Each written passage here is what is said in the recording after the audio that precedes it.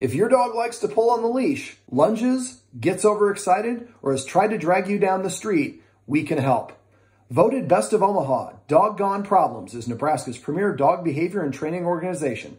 And we found an easy way to turn this into this.